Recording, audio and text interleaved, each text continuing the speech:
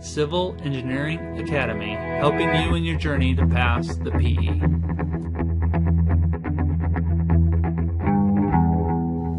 Alright, welcome to Civil Engineering Academy. Today we're solving a problem from Geotech, a concrete, reinforced concrete, sorry I missed that, retaining wall is shown below. The friction angle that is found between the wall footing and the underlying soil is 25 degrees. Okay, that's this delta is 25 degrees down here. Find the factor of safety against sliding. So, if you're using your civil engineering reference manual, equation 37.57 says that the factor of safety against sliding is your force of, of sliding versus over your horizontal force acting against uh, acting on the wall, pushing the wall. So the first thing we're going to do is find this horizontal force and then we'll find the, the frictional force. First thing I'm going to do is come in here and draw the force acting on the retaining wall. It Behaves in a triangle shape. And down here, your force is Ka, which is an active earth pressure coefficient. Because the soil is pushing on the wall, we're going to use Ka times your gamma times h. And that is what it is down here at the base. Now to find what it is the resultant acting a third up you take basically the area of a triangle which is one half the base which is Ka gamma h times your height which is another h. So we're just going to say squared. So that's our RAH so that's easy to find. And we also need to find uh, Ka though and Ka comes from equation 37.6 which says that Ka is equal to tangent squared of 45 minus phi over 2. Okay, so if you plug in phi, which is given here as 34 degrees, I get 0.283. So now we know Ka. So to find RH, we're going to use 1 half Ka, which is 0.283, times gamma, which is given as 125 PCF, times your height, which is given as 20 feet squared. And that gives me 70, 75. And that's in pounds. Okay, so we got the horizontal force. Next thing we need to get is the uh, force sliding, so the frictional force here. And to get that, we need to find out the weights acting vertically. So I'm just going to draw these in here. Each of these pieces is dimensioned out already, so we're trying to make that easy to find. We've got weight 1, weight 2, weight 3, and we also need to account for the weight above the retaining wall. So we got another weight here, that's weight 4. So let's go ahead and figure out what those are.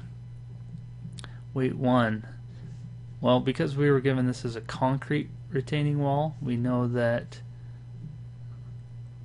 the uh, density of the concrete is 150 PCF. That's just something you should know uh, for concrete. So we need to take that 150 PCF times 4 times by 3, which is the dimensions right here of this little square. Okay, and that gives me 1800. W2 is taking the next one, which is 150 times 1 times 17 feet. Well, sorry, 20 feet. 20 feet. Bottom to top. We're not subtracting that little 3 feet chunk. That's 3,000. Weight 3 is going to be a 6 foot by 3 foot by 150 PCF. It's 2,700.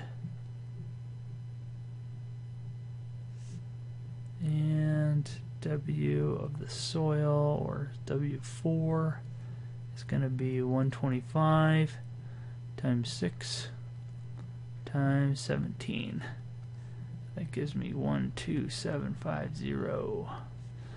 So let's add all those up.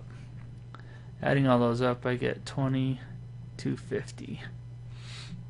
Okay, so that's the total weight acting downward. And I guess if you looked at the units, this would be uh, pounds lbs per foot. But if you multiply it by just one foot thickness, it's just pounds, and that's what we're getting. That's what we have here, pounds. Okay, so we're not done with this. Now we were given this um, underlying, I guess, friction angle on the between the soil and the retaining wall, and we need to account for that. So let's take the weight of the soil and the concrete times it by the tangent of that angle. So that's 2250 tangent of 25 degrees. That gives me 9442.73. And that is our uh, RSL, forces sliding. Okay, so now we can find the factor of safety now that we got everything, which is equal to 9442.73 divided by 7075, and that comes out to be 1.33, which is answer A. So this was kind of a, a simple and fun equation and question for solving uh, for the factor of safety against sliding and we'll be solving a lot more of these type of retaining wall problems in the future. So I hope you enjoyed this. Head on over to civilengineeringacademy.com for more tips and tricks related to the PE exam. Thanks, bye.